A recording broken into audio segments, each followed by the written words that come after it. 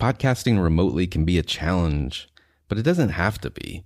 Zencastr's all in one web based solution makes the process quick and painless, the way it should be. This podcast is made on Zencastr. Zencaster provides me clear, crystal sound and gorgeous HD video. Not to mention, it's easy to use even for my guest, and sometimes they're not that tech savvy. There's nothing to download, they just click on a link and we start recording. If you want the same easy experiences I do for all my podcasting and content needs, go to zencastr.com slash pricing and enter the promo code marketing today, all lowercase, all one word. Again, that's Z E N C A S T R dot com slash pricing and promo code marketing today. You'll get 30% off your first three months. It's time to start sharing your story too. You know, I've been talking about earned media value for quite some time on this podcast. My friends at Eisenberg have just raised the bar on earned media benchmarks with their social index. Social Index now gives you globally earned media values across a growing list of six geographies for all your KPIs across the top seven social platforms Facebook, Instagram, LinkedIn, Snapchat, TikTok, Twitter, and YouTube. You can now visualize these values for deeper analysis, and they have a look back window over two years of historical comparisons. Social Index is updated daily. Don't get stuck with old data. Over 1,000 companies have used the social index to understand the ROI of their social campaigns. And if you work with a social agency, you should demand they incorporate earned media values into your reports. Get your earned media value for social content. Visit earnedmediavalues.com slash Alan. Again, that's earnedmediavalues.com slash A-L-A-N.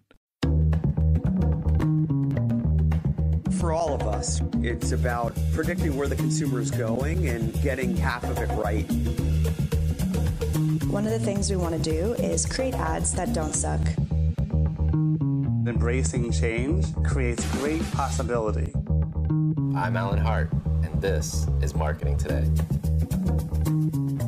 Today on the show, I've got Michael Goodbody. He's the new CMO at Dave, and Dave is a leading neobank challenging the current banking players in the market. And on the show today, we talk about his pathway to becoming CMO at Dave, his background in journalism, financial services, and growth marketing, how he thinks about marketing and the success that can be attributed to neobanks in the space of financial services and what's driving that, frankly. Specifically, a focus on products, products that achieve what people are looking to do and counter the competition.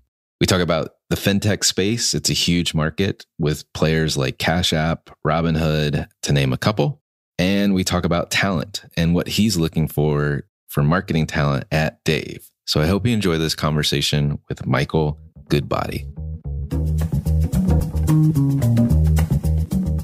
Michael, welcome to the show. Thank you very much for having me. So I don't get to say this in every interview, but I hear that I should never, never challenge you to a rugby match. So uh, tell me about this this rugby career. I think that you had before becoming a marketer. Yeah, I think I think it's usually you know every time you introduce yourself uh, a new company or something like that, it's usually the first uh, fun fact that I go with, which is I, am pretty sure I have. So I played a lot of rugby as a kid, as you can probably hear. I'm I'm, I'm from the UK originally, and um, pretty uh, on on the larger side, to put it that way, for anyone that meets me in person. and uh, yeah, I think I think I might have claim for the uh, shortest professional uh, rugby career, possibly even the shortest professional sports career, because I um I actually uh, you as I said, sort of grew up playing rugby, and uh, after I got my sort of uh, worked in a couple of jobs uh, in the journalism field, and then sort of uh, Uh, uh, actually got laid off from from one of them, and was playing at a relatively high sort of level of amateur rugby in in London, and one of my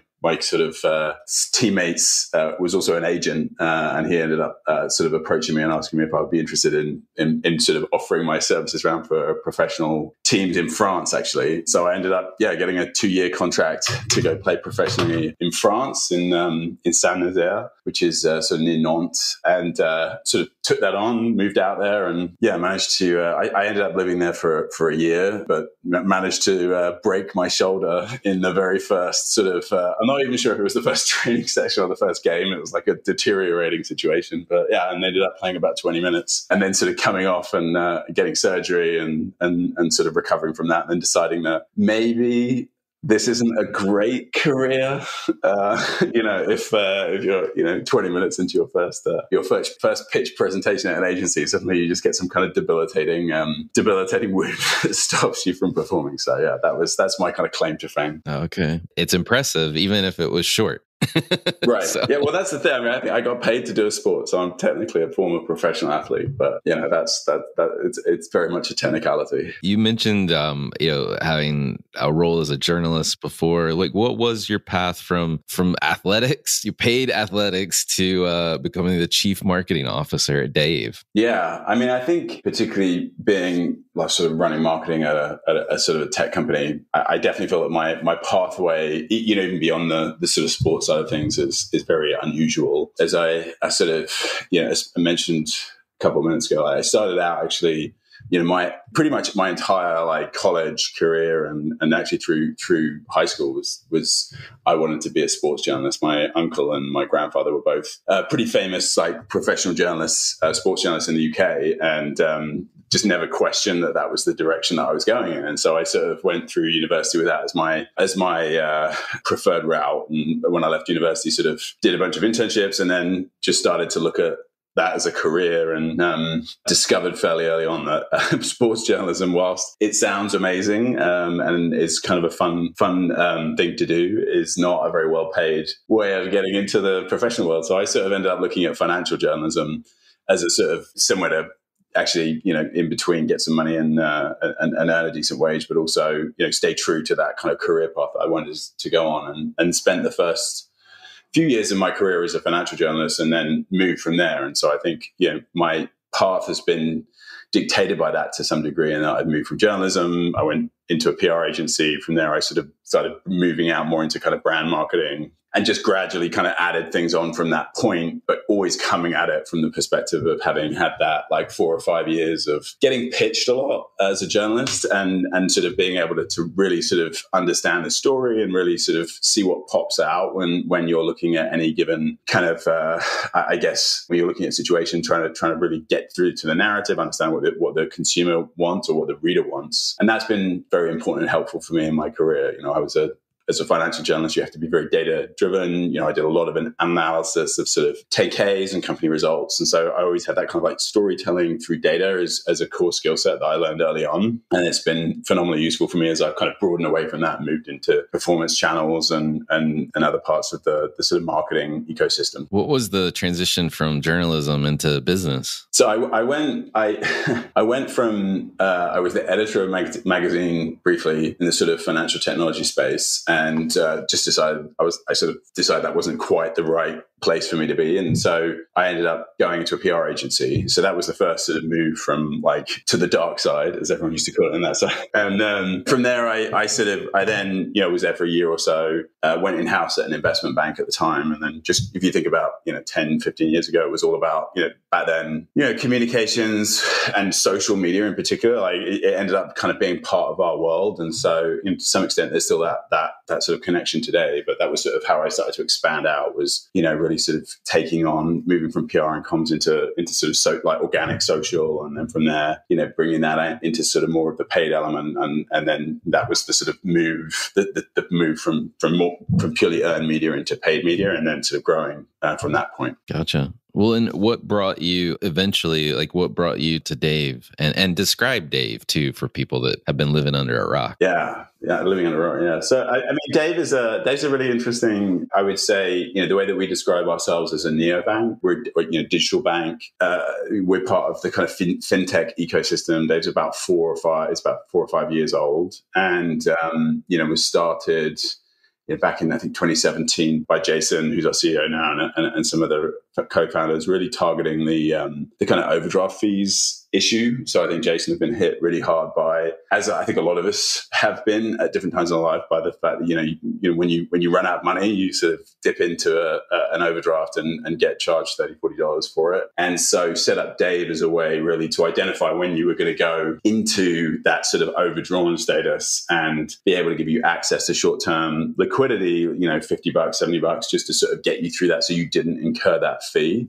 That was the original concept. And from there, we kind of grew out over the last four or five years to be, you know, I think we have about 6 million members. We have, you know, about 2 million bank account uh, or, or, or, debit users and, you know, one of the leading sort of neobanks in, in that finance space. And so we're similar to if you were to look at other other new entrants uh, like sort of Chime or um, you know some of the work that Cash App has done to move into that space as well, we sort of see ourselves in that in that sort of group of companies that are taking a core problem and trying to solve it with a, a degree of differentiation in financial services, and then from there earning that sort of customer relationship and, and, and building it out to become, you know, in, in, our, in our sort of, from a strategic perspective, we, are looking to be in that primary banking relationship for our users um, over time. Gotcha. Gotcha. Well, and uh, so you've, you got a really interesting background, like journalism, covering financial services, now in financial services, and at the early stages of like social media, um, as you made that transition in the PR, like in your mind, do, do you think about those three things coming together? And like, how has that contributed to your your success currently? Yeah, absolutely. I think I still remember when I first, my, I, I, guess the first sort of time that I moved, you know, that I really sort of broadened into pure,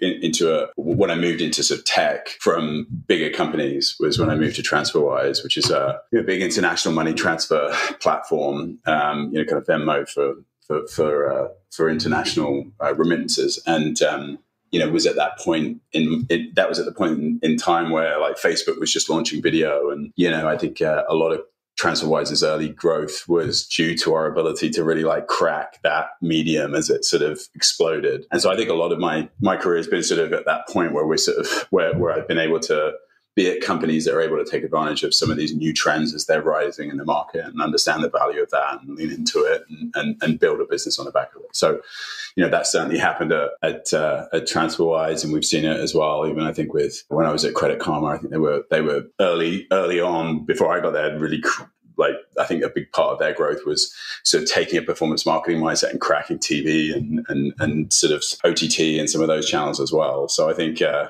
yeah, just it's been interesting to see that and be part of of those trends as they're coming. And we're seeing that now as well with things like TikTok and you know how you can you can build a brand, you can build a company on the back of like it, you know if you can be an early adopter of some of these things. Yes, for sure. And I mean, you're relatively new into the role of CMO. You, if I got my my math right, you started in January, so you're roughly six months as we're doing this this uh, interview. How did you think about coming into the role that you're in now, and like goals, vision, etc.? Like, what were you thinking? Yeah, I mean, I think I had a really, I, I probably had the best foundational experience for for that move that you could possibly have. I was at Credit Karma for five years, and I, I, the last three or four years there was you know Credit Karma made a decision a year or so after I got there to kind of verticalize the business, to create to reorganize the marketing department around core like verticals beyond just that having a centralized marketing infrastructure, and they, they were at that scale point where it was kind of hard to to do new things because there was so much of the brain space was being dedicated to just the existing business and, and growing the existing business. And so I actually moved over there early on to be the uh, the sort of head of marketing uh, within it was a sort of lateral move to be the head of marketing for our tax business. At the time we launched Credit Karma Tax which is a competitor to uh, TurboTax H&R those sorts of companies. And so was was the first vertical market, marketer of Credit Karma. And, and through that next three or four years was able to effectively you know grow that like and attach more more responsibility and more like um, you know more verticals became part of what I was working on. And so by the end of that I was actually kind of running a full stack marketing team um, you know 20 to 30 people. We had our own creative function. We had our own uh, growth marketing function. We had our own engagement function. So when I moved over to Dave actually it didn't feel like a big a big step from that perspective because I, I'd sort of had the whole scope of a marketing organization under me and in a very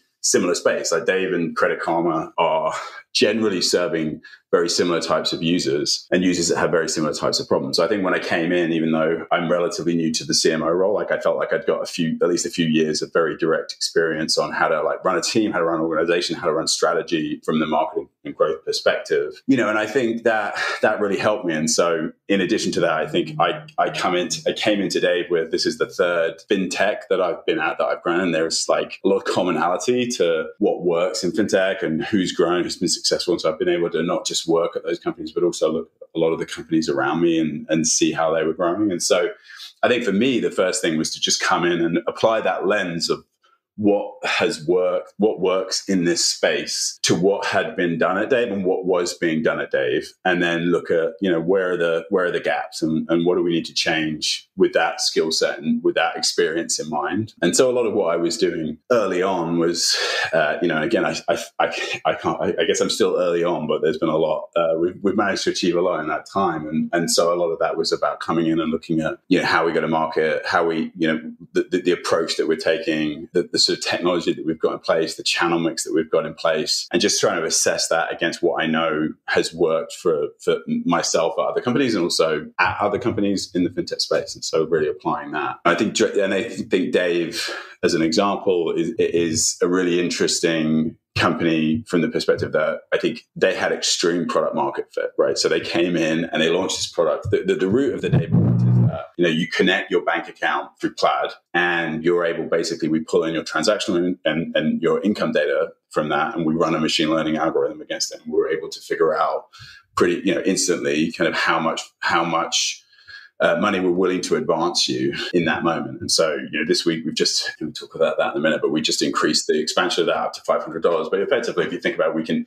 you come in, and you sign up, you connect your bank account, we'll lend you up to five hundred dollars instantly. So that's a very very strong value prop to acquire people. But I think going, you know, for me when I came in and looked at where the company was at, I think they hit that that moment of you know, they had hyper growth, and then that growth kind of it, it didn't stop, but it wasn't hypergrowth anymore for a bit of time. And that was primarily actually driven by stimulus and just how much liquidity was pumped into the American economy. That, that, that made it a little bit less necessary for people to need products like Dave. And so it grew you know, it grew, it still grew well, but it wasn't growing at that, that previous rate. And I think what had happened with the company was that we looked at other players in the space and we looked at, you know, how do we, how, how else can we grow? And I think that's a, que- that's a question that a lot of companies that get to that kind of hyper growth and then sort of slight, you know, slightly leveling off will go through that moment of like, how else can we grow? How do we add something on? And so the big thing for me when I came in was just like, hey, you've got like, we're the market leader in this space. We're the, we're the best at what we do. And so the most important thing for us is to, stay focused on that and think about how we innovate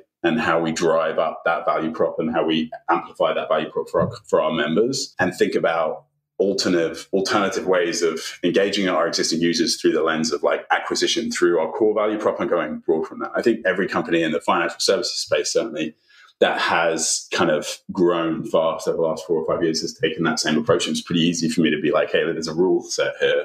Let's make sure we're following it. And, and just making that slight tweak, I think, you know, made a lot of sense. There's a lot of buy-in internally, and has, has, has been has been really fruitful for us to sort of really capture what, what was what was there. Because at the end of the day, we had just an amazing product. For, like we had we had an amazing product, and so I think that's the you know sometimes you can forget that when you're sitting in you're sitting inside a company. And I had the advantage of being outside and sort of looking in and being envious of what Dave was able to do, and then coming in and having that perspective was actually pretty useful. Yeah, I think nailed it there at the end too. The value prop the product was extremely, uh, would you say, extreme market fit originally, and and like allowed you to amplify that over time and now try to figure out how to how to take it to the next level. I mean so you mentioned just this i think you said just this week uh, you guys up up to your limit to $500 that you're willing to extend to customers. I mean to me like i spent a little time in the credit card space. You know that feels like a move from like hey i'm just to spot you you know 50 bucks you're now like in the like you're bumping into the what was historically called like secured credit card space, right? Like like small amounts of lending but allows you to build credit essentially. Do you guys see like you're moving into that space or the credit lending space in general versus being a neobank?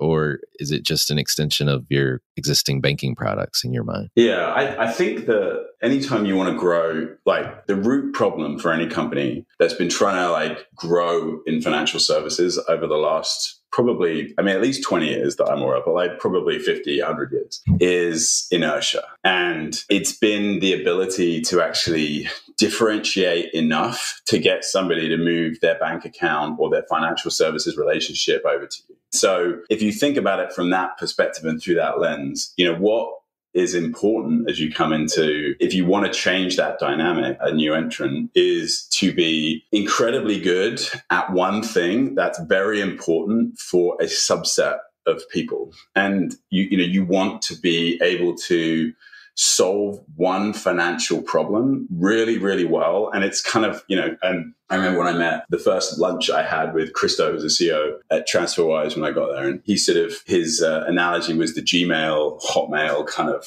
transition and not maybe some people remember that i remember that but you know it, there was this idea that like gmail gave everyone that 10x better product right 10x better storage and it made it a no-brainer to switch over and so i think in financial services you know when you're dealing with the product the problem of inertia the, the most of the reason why there's a problem of, of inertia is because it's a very consistent set of products. It's very commoditized and people just sort of you know don't see clear differences between it. And so for us it's about how are we 10 times better at something that's meaningfully important to people. So short term credit, 67% of Americans live paycheck to paycheck um, right now. And of those, you know, fairly significant proportion are struggling to pay paycheck to paycheck. So we think short term credit, which is like, which is effectively figuring out ways of, of closing the gap between one paycheck and the ne- next paycheck is primary financial need for about 25% of American adults. So what we have there is, is there's definitely probably 50% of Americans that this is just irrelevant to, uh, who don't have to worry about like whether they can fill up their car with gas or pay their rent or any of that sort of stuff. But, the, but to the audience that, that have to worry about that, like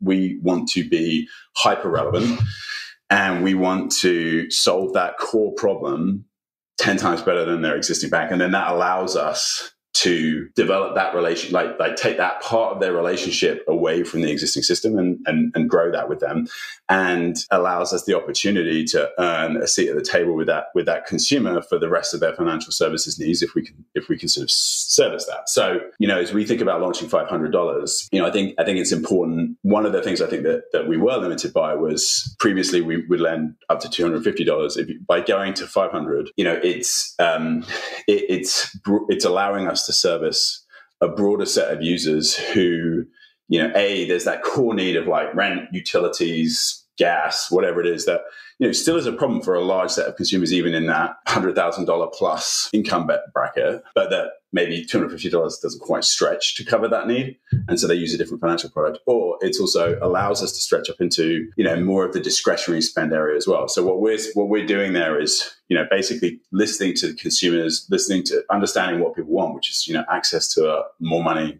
you know, sort of, and getting it quicker and solving that problem. And in so doing, you know, we, are looking to expand that market, but it's not necessarily expanding it. I think when, you know, when, when I, I've talked to people about this in the past, it's like you're trying to move up market with it. It's, it's less about that. And it's more about just being relevant to a broader set of people who have the same set of needs. But, um, you know, in so doing, I think in some way moving, trying to move a little bit away from can we just service the needs to the wants? And so seeing what happens there. So, you know, I think for me, what's interesting about the product that we that we offer is we obviously advance you know up to five hundred dollars. It's, it's basically you know we we leverage any income data and transactional data that we have, so we can you know lend that against income, like traditional income, paychecks. We can le- leverage it against sort of income from if you've got regular income coming in, if you're a college student, get you know, from your parents or from if you've got unemployment income. These are all things that we factor into our underwriting decisioning. And this allows us to kind of like take that up the next level and be able to kind of unlock that short term credit for people that maybe might be looking at using a credit card or might be looking at using a personal loan to fund something. So we're interested to see how that how that changes. And I think that continues to be like, you know, we've we've we've done 60 million advances now. So we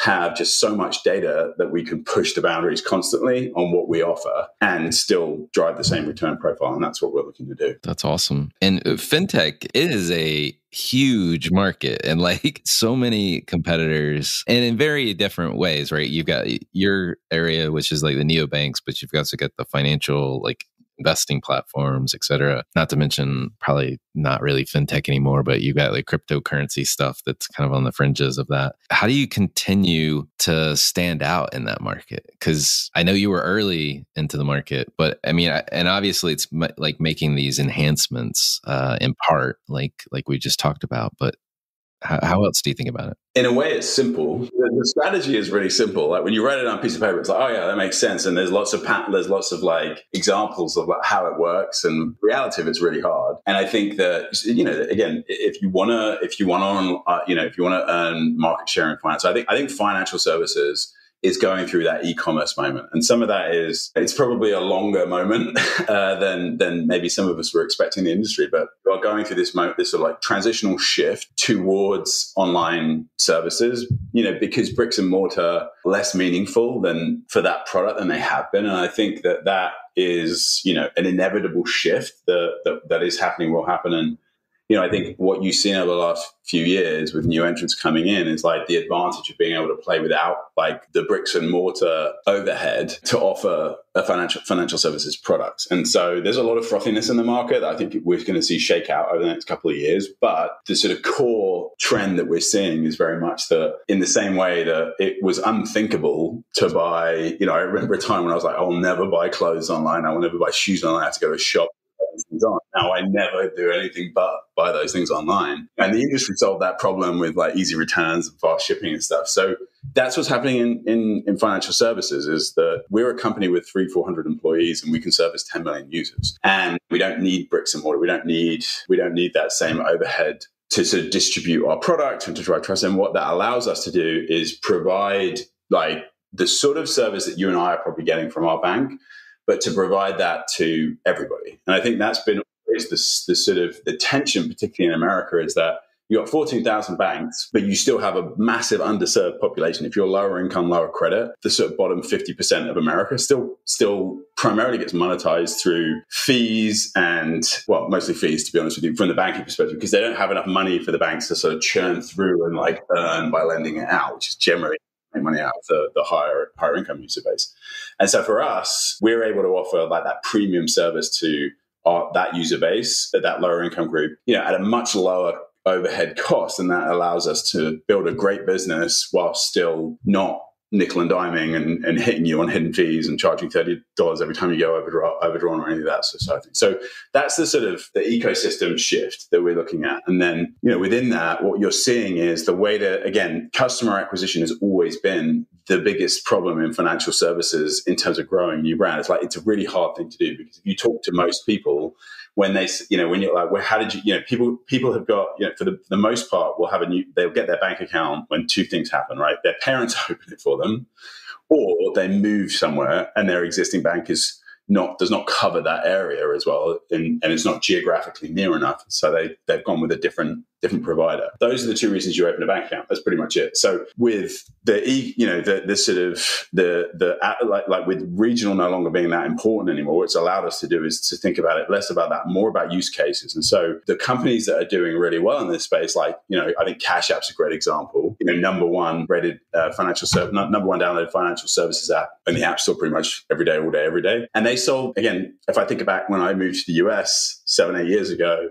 and I was trying to move money from like pay somebody back for something, or if I was trying to move money from one account to somebody else's account, like it was really hard. It was this high friction thing, and Cash App and Venmo came in and solved that problem really, really well, ten times better than the existing banks, and built a user base from it. You know, Credit Karma did that with credit scores prior to them doing it. it seems crazy to think about that now because it's so commoditized, but they did that with they took a, a fairly opaque score that was you know you had to pay to get or you had to sort of run these free trials that like would pre- pretend free for a month and then ended up like hitting you with a hidden, you know, like thirty dollar fee every month. Yeah, yeah, right. It's like before you, if you can, it, as soon as you notice that you're like, damn, this free thing cost me hundred bucks, and they they changed the dynamic of those industries by by again finding that one thing that was really burning a hole in the consumer and like solving it. And I think at, at TransferWise, where I was at before, that was the same thing. It was international money transfer, which just wasn't that important to the banks. It was like a you know, less than one percentage for most banks' revenue. And so they didn't care that much about it. They didn't want, you know, they provide the service, but it was pretty terrible. And so anyone that's done well in this space has has taken that core value, like taken that core problem and solved it really well. And you know, Robinhood applies that, and Coinbase applies that as it relates to like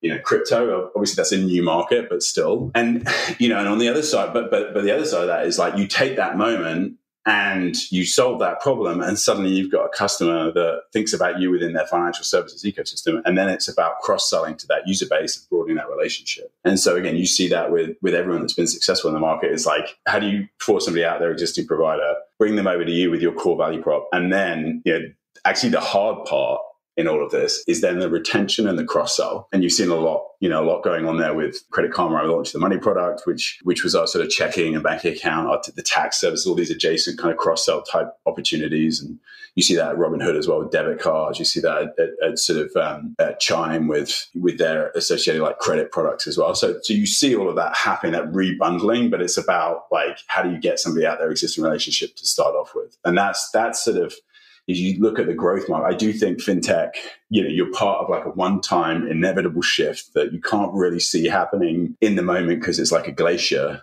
But like you wait five years and you look back and you're like, wow, that changed a lot. That's where we're at. That's what we're going through. And that the commonality of who's successful is all about being amazing at, at the core value. Well, how does that, how you're competing in the market today, like translate to what, like how, what does marketing look like at Dave? How do you balance performance marketing, cross sell, upsell, and brand as a as like three different components? I guess. Yeah, I mean, I don't think anyone's purely solved it. no, no, I'm sure. But right. but if you have, this is the perfect show to tell everyone.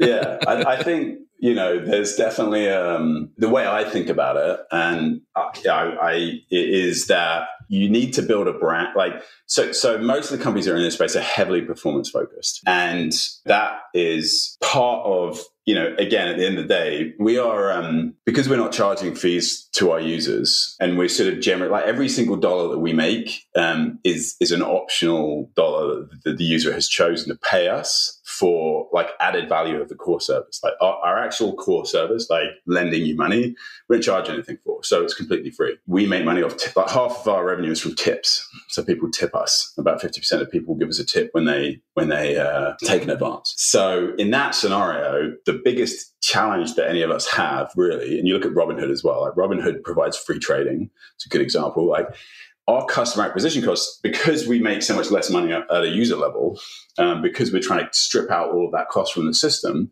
you know, generally in fintech, customer acquisition costs are very lean compared to every other every other sort of bank, right? And so banks typically will pay three, four hundred dollars for a user. We pay twenty, and your typical fintech will be kind of in that twenty to, to fifty range. And that makes it hard to. That means you have to, you know, you have to look after the pennies. Otherwise, you up, you know, there's not a lot of there's not a lot of room in there. And that's again, that's part of what we're trying to do. We're so, we're serving underserved communities, and we're providing them with with great. You know, we're trying to provide them with great quality products, like top you know, 1% type banking products, but we're doing it. We're trying to strip the cost out of the system and marketing is part of that. So we don't want to be spending basically spending our users money on marketing if we don't have to. So a big part of that is, you know, we definitely come from the perspective of performance marketing. And I think every company in the space, again, like heavily performance driven, credit karma, what TransferWise, like everywhere I've been has been like insanely like um, focused on that very data driven. The funny thing, but then the opposite part of that when you deal with it is that financial services are all about trust right? And so eh, there's this tension, which is you can kind of win people over with performance marketing. You can acquire them to some degree, and there's always low hanging fruit in that market. But in order to retain and expand that relationship, you're, it's about building trust. It's about building longevity, like like a sense of longevity. Like people don't want to give money to to a company that they think is three years old and is going to disappear in ten years, or in five years, or in two years. And so that tension exists in everything that we do. So I think for me, when you see the stage of fintechs of, of, of, growth in this in this marketplace, a lot of it is about early on. It's about like, hey, do, let's get signal on product market fit. Like, are we, you know, is there a there there? And then you can pour a certain amount of gasoline on that just through performance marketing. But then it becomes about like, how do you do it in a way that builds a brand? I would argue Credit Karma is a great example of that. Having been been able to work with some amazing marketers and, and executives there, you know, I learned a ton from from from sort of Greg Lull as the CMO there, and yeah, I think the the way of thinking about that that sort of journey, the way I look at that is like they applied a, a brand layer on top of performance marketing, but in a way that still allowed everything to be efficient. Think about customer acquisition, but as you gradually like mature as a company, you think about how you layer in brand into that. So it's not about having a separate brand marketing budget for these for us at this point in time, and separate brand marketing mindset. It's about thinking about how do you create user like ads and assets that acquire but how do you do that in a way that like leaves a mark that's ownable? And i think that's what a lot of companies do really badly when they're looking at performance marketing is you think purely about i want to acquire the user i want to drive the click and you don't see and nobody can tell if it's an ad from you or your competitor. That means you're just investing in that click and you're not for every eyeball that doesn't click you're not doing anything. And i think that's that's what how i think about that that the approach is like, how do you, and the big thing that I've been trying to do today since I've got here is like, yeah, how do we make sure that everyone that sees our ad, like it still performs, right? It's still driving acquisition, it's still driving usage, but that it, it, it's also ownable and that you can't just strip off the logo or strip off the sort of um, the brand name and just and and not know whether it's us or one of 10 competitors. And that's a really important way of thinking about like how to do that like that next phase of growth. Well, that I mean that kind of takes me right into the next question I had for you, which is like, what type of talent are you looking for that to actually do that? That I mean, it definitely creativity is one aspect but like tell me a little bit about like the type of marketing talent you're looking for yeah it's interesting i think uh, you know i think generally as well you know, I think my read of this would be that, you know, marketing went from, certainly in the space I'm in, went from being an art to a science, right, over the last 10 years. And as the platforms that we market on and the ways that we apply, like increasingly do a lot of the science for you, and particularly in terms of algorithmic bidding and value um, value bidding, value optimization, etc. You know, that then, to me, what I'm seeing is the need to being able to straddle both of those worlds. So when I'm looking for talent, you know, I'm either looking for creative growth marketers who understand the value of creative and understand how to differentiate through the look and feel, or it's sort of data driven creatives. And uh, it's, not, it's, not, it's not that easy to find them, but you know that's where you get. To me, that's where you get the true unlock. Like I think if you end up, if you're not trying to think through that lens, then you do end up. You tend to end up like swaying the company one way or the other and then it becomes up to, you know, my experience is kind of up to me or up to other sort of leading executives to try and like keep the balance, keep the harmony, which is really hard to do. Like, I've, you know, even at the companies I've been at, you, I've seen like the way that you hire talent swaying you in one direction or the other. And, and you almost need to keep it on that fine balance between the two. So, you know, the, the, the I think the way I think about it is, you know, when you, when you're, you're hiring, you're looking for inquisitiveness. You're looking for like light behind the eyes. You're looking for passion. You're looking for just the ability to dig deep in the topic and just sort of think laterally. So to me, it's less about like deep, deep expertise in what you're doing. And it's more like a certain type of person that's willing to, that's just inquisitive about the nature of their work and willing to learn and expand that, their, their view of things. I mean, the notion of um, how you describe them creative growth marketers or data driven creatives at the first outset i was like aren't those the same things? But they're not but they're they're very close to each other like i could i could see how they would work well together if you're trying to build a team right? Yeah i mean i, I think they're actually really different i think in my mind. Tell me more about it because i want to i want to make sure i understand it completely. Yeah so i mean one of the things that one of the the, the things i i think i saw it's not really something that's scalable but like i think where i've seen this at its best is sort of like I would take my creatives um, who were working on some of our, you know, sort of like building building our, our creative assets when I was uh, at TransferWise, and I would have them run Facebook campaigns. So they could, because, you know, they would, and they hated it. they really hated it. But what it allowed them to do was just see how they could interpret like the performance of that creative through the data. And a creative will look at something in a very different way to a performance marketer. Like a performance marketer will look at like relative performance of different assets and they'll be like, this is better than this, right? This one drives better conversion than this. This drive, they'll look at the underlying con, like, you know, metric that they're sort of looking and they'll, they'll, they'll figure, but they generally speaking won't know why. They will just say this one works better than this one. And so the true unlock is when you can look at creative and understand why it's doing something better. And and and so a good example of that is, you know, I remember showing somebody one of the creatives like the data and they were looking at it and it's like, oh well this one, you know, this one has you know, the view curve on it, like in terms of when people are dropping off. They could identify exactly when people start dropping off and the creative like shift that was happening there or the pacing, and they tighten that up, and that then retains the user through that whole whole journey or that whole asset, that whole grid. And so that that ability to be like that wasn't something that you know that that, that I think that the growth marketers on the team were even thinking about. Like they were just looking at this and being like, okay, okay like just wouldn't even occur to them that after four seconds people are dropping off. They're like, well, they don't like the ad or they like it, but they don't like it that much or whatever. But the, but the creative is able to look at it and be like, what happened then? And so I think that that's a good example of like a creative driven sort of being able to look at it through the data. And then I think on the other side of it, it's it's more about it, it often becomes more about like being able to identify the types of assets that are performing. I, th- I, I think it's unlikely that a growth marketer will ever get that deep in like how an asset works, but well, they might. But that, but when you when you sort of hiring growth like um, creative minded ones they're much better at looking at like what the competitive set is doing and identifying types of creative that work. And they're much better at like divide, like looking at maybe how their work is doing and just trying to understand like the sort of types of creative or the, the different sort of i guess sort of platform like the different types of asset that might work for a particular platform or something like that. But that tends to be the breadth of it. Um, I haven't seen too many people that can close the gap between that. No, it makes sense. I appreciate you going a little deeper there. And if there are data driven creatives or creative growth marketers listening, check out Dave. Absolutely, 100%. My LinkedIn is open. Yeah, exactly. Awesome. One of the things we like to do on this show is uh, get to know you a little bit more. We know you you had one of the shortest professional rugby careers of all time. But uh, but beyond that, has there been an experience of your past that defines or makes up who you are today? Yeah, I mean, there are obviously plenty. I think professionally, for me, it's it was um, it was making the wrong decision on a like. I think for anyone out there that like ever gets like in a bad situation from a work or is or is down about like a, a work decision that they've made or like a, a job that they've taken that doesn't turn out, like I would say that's a very that's probably the the most important experience you'll ever have in your career.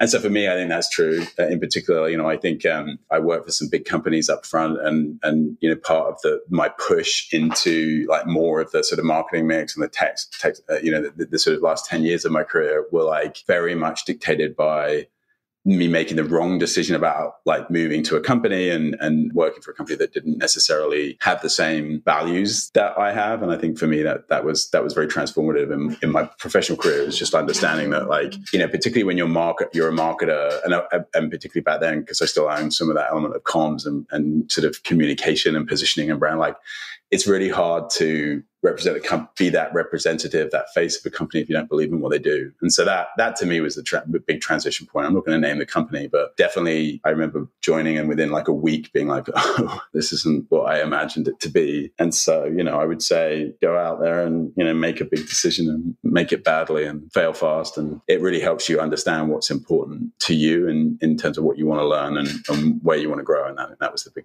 big thing for me was like just making that wrong career decision. Because it, it allowed me to sort of take a you know massive pay cut to go and do what I wanted to do. And then from there I've got you know I was able to grow a career in a different direction really fast that I'm you know much happier about now. That's awesome. If you had advice for your younger self starting this journey all over again what would it be if I had so probably go go and be an engineer a software engineer I, I think it would be a um, advice I'd give to anyone like 10 years ago rather than be in, be in marketing or any any other any other discipline. But no, I, I mean, yeah, I, I think it's hard because I think you know I definitely am a person that like I'm sure if I came back in time and told myself something, I wouldn't believe myself. You know, I'd have to I'd have to make the mistake myself and like get there in my own way. But I think again, like the most the, for me, it's like there there are two things that two or three rules that I, a piece of advice that I give people on my team, which is that I would always give to myself as well, which is don't be afraid to like dive into something that's broken. I think that's always where I've found like the, the hardest, the things that look hardest from the inside than the outside. And I think in particular when I picked up, you know, tax, you know, the Credit Karma tax business and marketing that product when it was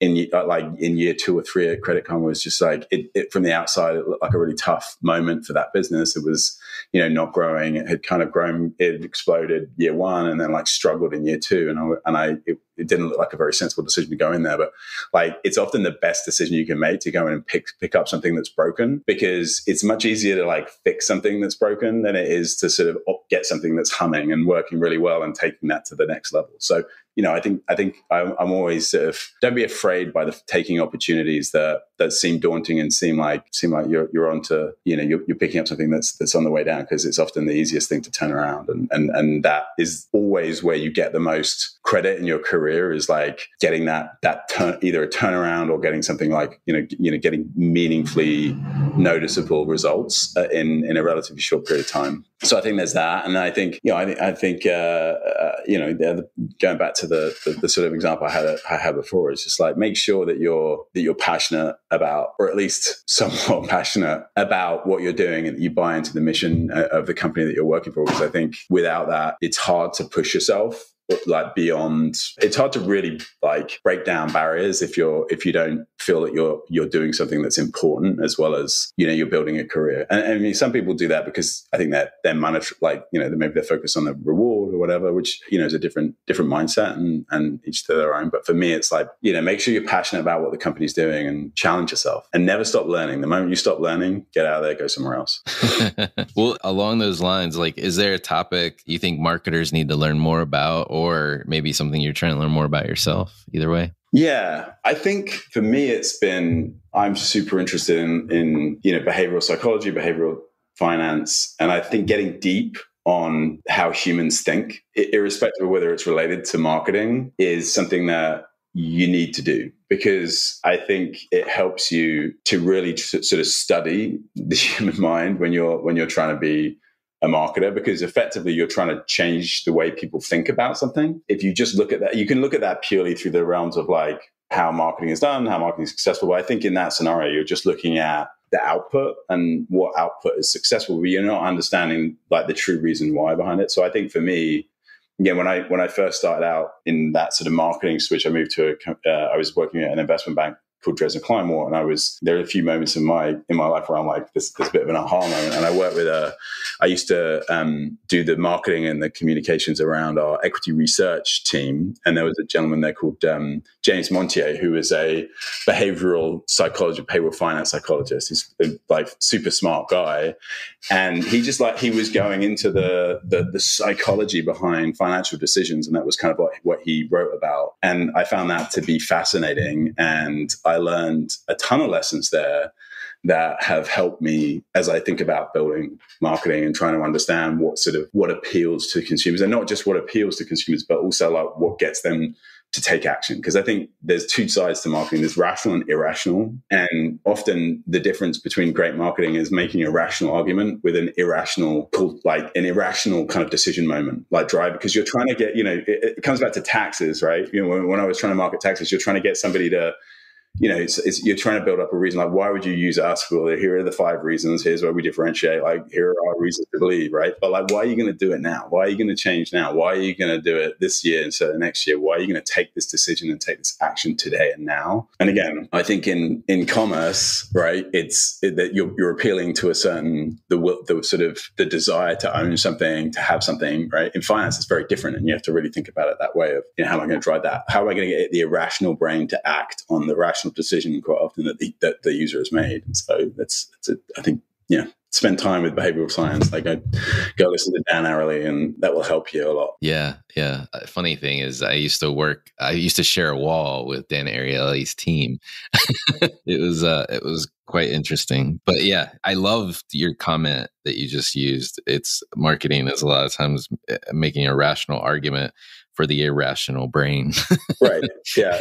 Yeah. It's like you have to convince you have to convince the rational side of the brain, but like once you've done that, your job is not done because you still have to get someone to take action on it. And that is always about like why do it now? Like ira- like there's you know, there's a lot of like there's a lot of irrational and it's interesting when you do user research, you often find like people will tell you something and I'm sitting there going, well that yeah, if you if you are, you have to figure out how to both ask someone the question and then test them in the re- in reality because you when when you put someone in a rational frame of mind you ask them what they think they will tell you what they think when they're thinking rationally but they won't behave like that and you have to figure out how to close that gap. Yeah that makes sense makes sense. Two more questions for you and uh, on a personal note are there brands or companies or causes that you follow or you think people should take notice of? I mean dave.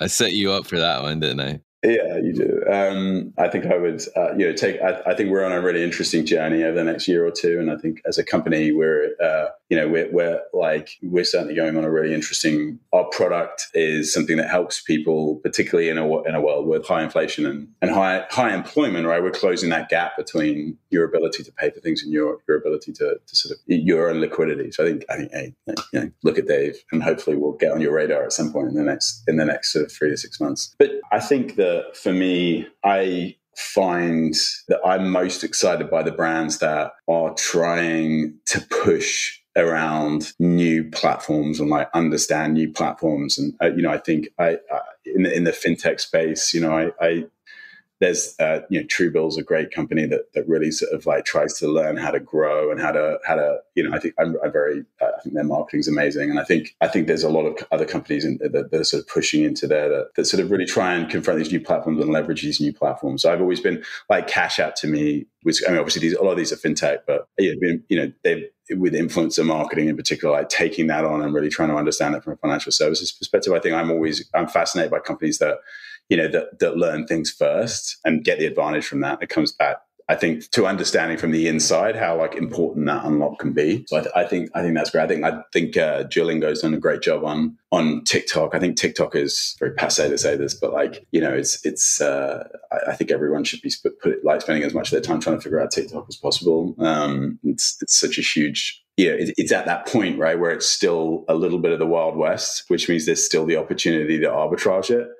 Um, and I don't feel like it's yet to really get the investment from the big brands and all that. So, so I think that's a, I think anyone that's, that's opening there, I think Duolingo's done a great job of that. So yeah, those are some of the companies that I look at and I, I, I sort of admire. Awesome. And a last question for you. What do you think is the largest opportunity or threat facing marketers today? The biggest opportunity is the biggest threat, right? Which is which is all the changes that we've seen with user user level tracking for me. And again, I come from performance mark like I'm, I'm, at a company that's i think would consider itself to be primarily performance marketing based. But you know as part of that you know this move from art to science to some blend of the two i think it un you know i remember asking a couple of people when i first joined credit karma like if we would ever invest in something we couldn't prove a return on. And I think the answer there was probably not, but didn't quite get a, get a clear answer on that front. And I think that historically, probably the last five to 10 years have been characterized by that, where a lot of investment has gone to uh, channels where you can most cleanly prove the return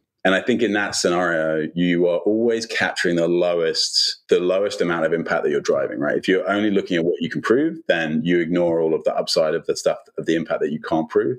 And that's fine. That has been enough in a market where you've been able to prove quite a lot. And I think that's why a lot of, you know, money is, has been going to, you know, historically has obviously gone to channels where it's easier to track, but that's, that's going away. And I think, I think we see that all over the place right now where, you know, there's, there's huge, there's opportunities have emerged with platforms that are harder to track, even traditional platforms or, or devices, or, or, you know where, where it's hard, the harder it is to track, the more opportunity there is for there.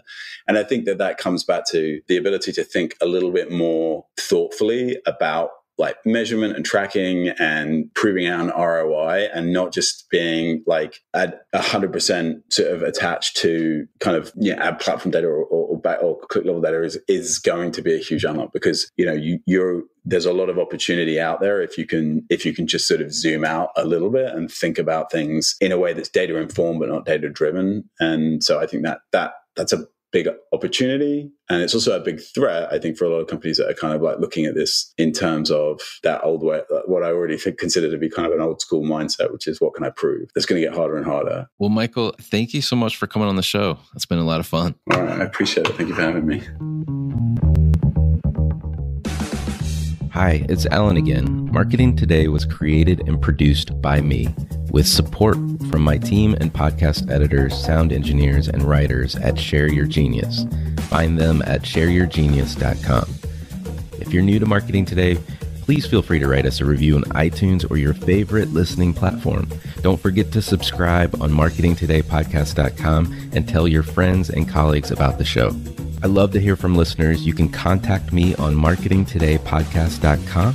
There, you will also find complete show notes, links to what was discussed in the episode today, and you can search our archives. I'm Alan Hart, and this is Marketing Today.